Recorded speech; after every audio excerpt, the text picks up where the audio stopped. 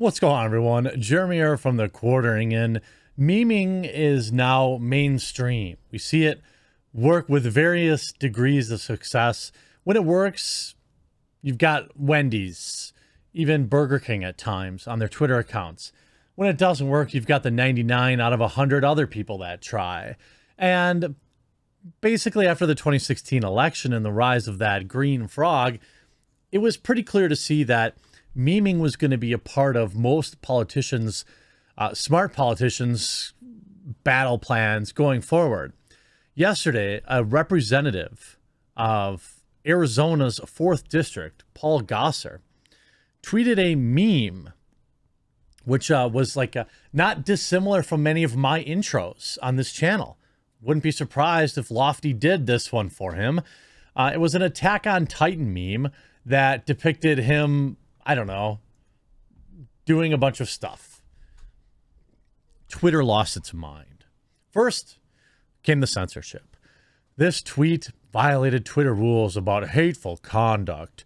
However, Twitter has determined that it may be in the public's interest for the tweet to remain accessible.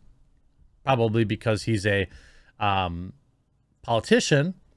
But in this meme, we see various things from Attack on Titan, I mean, it's not the best meme work. I'm pretty sure Lofty could do better, but it's just him taking on, you know, we've got what's a migrant crisis. We've got him battling AOC as a Titan. Um, nothing really crazy here. It, it, it's a cartoon, right? But we all know how this ends up. Oh my God, he tweeted something that he was going to end AOC.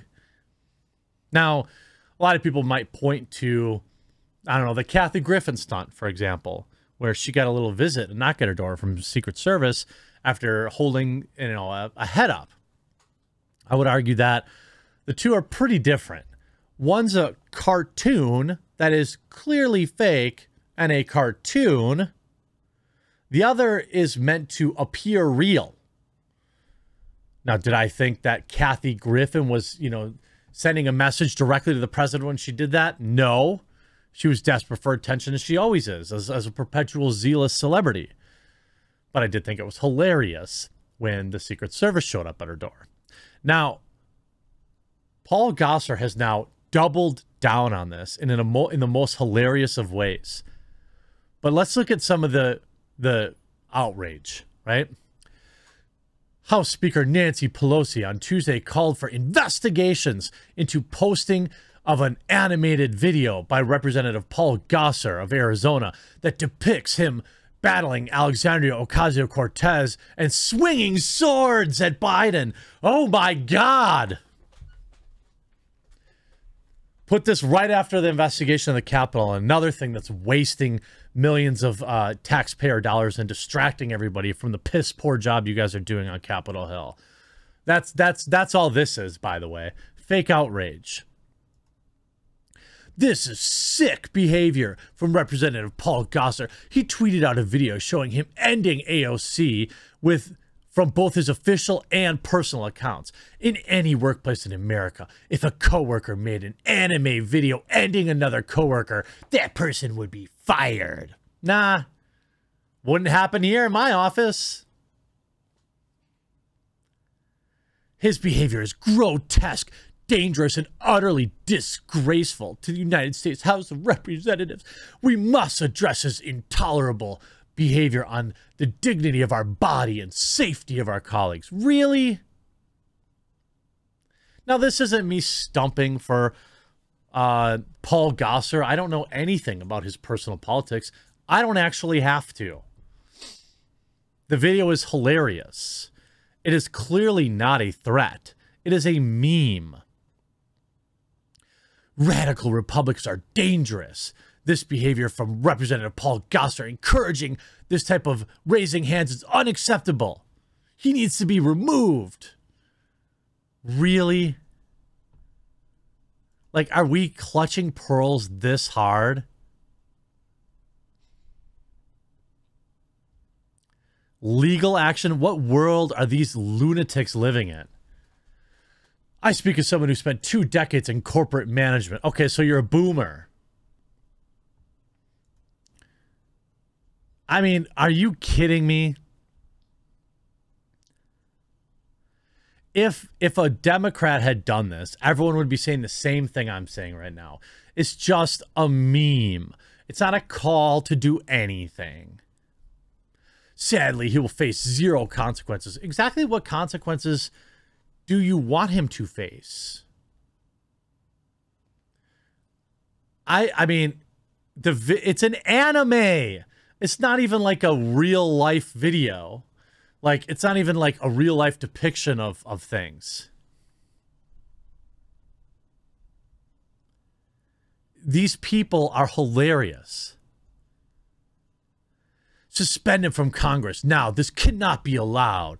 Congress members can't be allowed to threaten the lives of other members of Congress. This must be condemned. Are you seriously in belief that an anime meme is meant as a direct threat? There is so much much disingenuous pearl clutching here. It's actually insane. Even Kotaku, U.S. congressman, fantasizes about ending AOC and Biden in Attack on Titan video. What? He just means to defeat them in government. It's obvious. Again, I don't know anything about his personal politics. This isn't me advocating for or against. He's not even in my state. My vote doesn't matter when it comes to him. Any anime fans? out there. Gosar tweeted from his congressional account with the video attached. The 90 second mashup shows Marjorie Taylor Greene, Republican of Georgia, and Representative Lauren Boebert, Republican of Colorado, as apocalyptic anime shows heroes protecting a city from giant invaders. One of the invaders has AOC's face on it and is ended by the character bearing Gosar's face. Oh my God. Where are my pearls? I don't have any pearls, but cashews are here. Whoa, my cashews. Oh, oh, the humanity. I think you can, I think you can pretty much, uh, anybody who's like genuine, like looking at this in a genuine manner can, can agree that this is just a meme. This is obviously not a direct threat. I mean, while I was en route to Glasgow, a creepy member I work with who fundraises for groups shared a fantasy video of him ending me and he'll face no consequences. Oh, AOC said that. What consequences do you want, AOC? It's a freaking meme. It's a meme. What consequences do you think he deserves for making fun of you? And of course, today, after all the backlash, he doubled down. your cartoon anime scares me with your jetpack flying and lightsabers. It's a cartoon. Relax.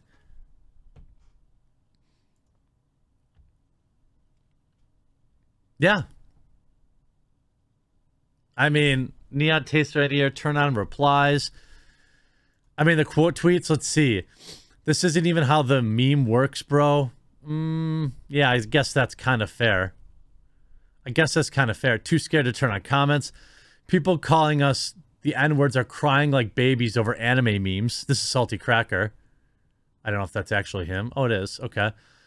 Representative Gosar knows exactly how to deal with these idiots and meme them until they cry and then make memes of them crying. Yeah. I'd probably Oh, Chris Reagan offended. He closed his replies. Uh, I mean, I don't know.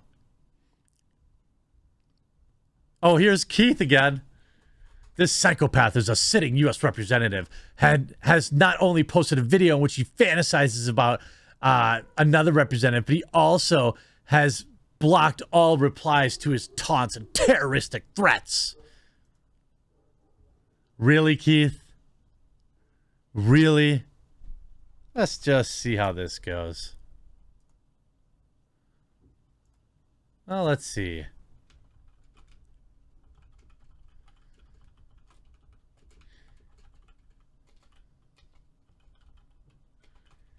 Yep, on OM, OMG man posted meme to the gulag. Let's see if I can uh let's see if I can get old Olbermann with another ratio today.